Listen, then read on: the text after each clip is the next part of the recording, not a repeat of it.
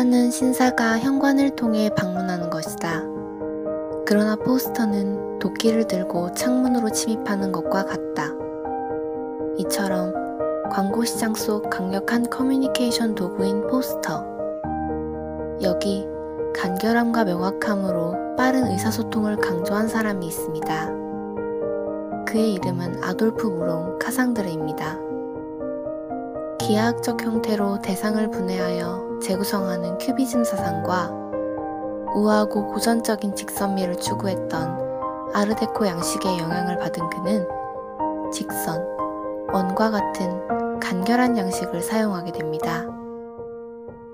기존 포스터 디자인에서 회화성을 배제한 그만의 방식으로 비율과 비례에 맞춰 빠른 시간 내에 메시지를 인식하게 하는 와인 포스터 피볼로 점점 취기로 차오르는 인물과 멋진, 좋은, 멋지고 좋은 술 듀보네 라는 새로운 의미와 리듬을 갖게 된 와인 포스터 듀보네